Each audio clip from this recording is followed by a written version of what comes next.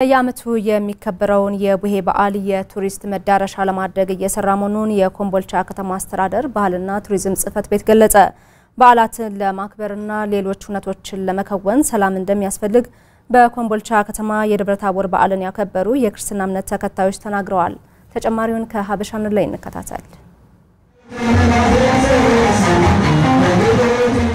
በክርስትና እምነት ተከታዮች ዘንድ በድምቀት ከሚከበሩ በዓሎች አንዱ የደብረ ታቦር ቡሄ በዓል ነው። ደብረ ታቦር በዓል በኮምቦልቻ ከተማ በድምቀት የተከበረ ሲሆን በበዓሉ ላይ የታደሙ የእምነቱ ተከታዮች በተለያዩ ክዋኔዎች በዓሉን እንዳከበሩት ገልጸዋል። ቡሄን ያው ትውፊቱን ለማውረስ ተቀጣይ ትውልድ ስለሆነ ልጄን ይዤ ነው የተገኘሁት። ዛሬ ቡሄን በደማቅ ሁኔታ እያከበር እንገኛለን። ዛሬ ዳቦ ነበረ፣ የብር ገጸ በረከት ነበረ።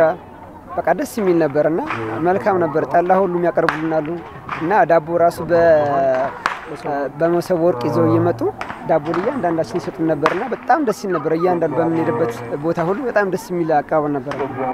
እንግዲህ ይሄ ድሮ እናቶቻችን ይለብሱት የነበረ የባህላዊ የገጠር የባህል ሀገር ልብሳችን ነው።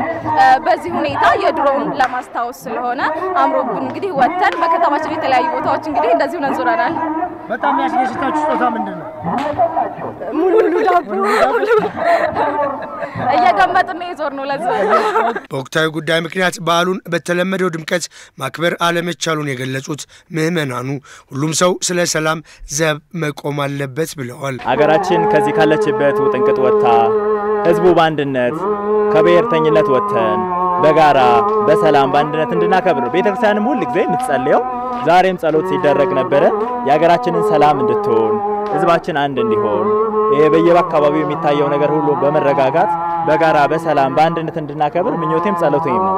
ፈጣሪ ሁሉንም ሁሉንም አመቻችቶ ለሚቀጥለው ዓመት ደግሞ በሰላም እንድናከብር ያደርገን ዘንድ እጠይቀዋለሁ። የደብረ ታቦር በዓል ሃይማኖታዊ ዳራ እንዳለ የገለጹት የኮምቦልቻ ከተማ አስተዳደር መድኃኔ ዓለም ቤተ ክርስቲያን አስተዳዳሪ መላከ ሰላም ቆሞስ አባ ሳሙኤል ችቦ የሚበራውና ሙልሙል የሚበላው በዚሁ መሰረት መሆኑን አስረድተዋል። ኢየሱስ ክርስቶስ ብርሃነ መለኮቱን የገለጠው በደብረ ታቦር ተራራ በደብረ ታቦር ተራራ ስለገለጠ ያቺ የታቦር ተራራ ብርሃን አብርታ ነበር እና ያቺ ብርሃን ይህ ችቦ የምናበራበት እልል ብለን ለእግዚአብሔር ምስጋና የምናቀርብለት ያ ነው በዓል ማለት ነው። እና ችቦ የሚበራው ለዛ ነው። እሱ ብቻ ሳይሆን ያን ተራራ መልቶት ስለነበረ ብርሃኑ በሰዓቱ መሽቶ ነበር።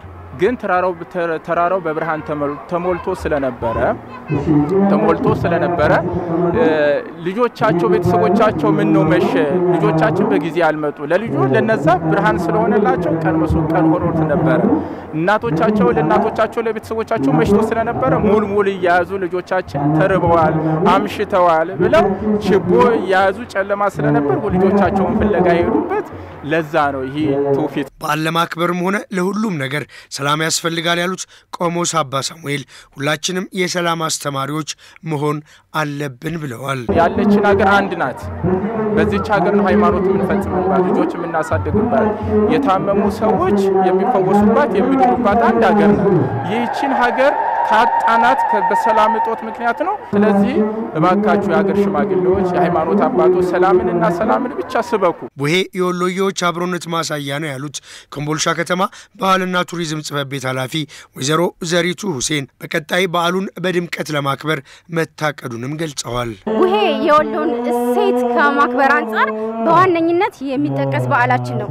ቡሄ ስናከብር እስላም ክርስቲያን አይልም፣ ሁሉም በጋራ የምናከብረው በዓል ነው። ሙልሙል ዳቦ ተጋግሮ ጎረቤት እየተጠየቀ አካባቢ ዘመድ ጎረቤት እየጠየቀን የምናከብረው በዓል ነው። በቀጣይ እንግዲህ እኛ ያሰብነው እንደ ባህል ቱሪዝም ልክ እንደ ሻደይ አሸንድዬና ሶለን ሁሉ ታዋቂ በሆነ መልኩ የወሎን እሴት በሚያንጸባርቅ መልኩ በጎዳና ላይ በድምቀት ለማክበርና በርካታ ቱሪስቶችን ወደ ከተማችን ለመሳብ ነው እንግዲህ እየተዘጋጀን ያለ ነው።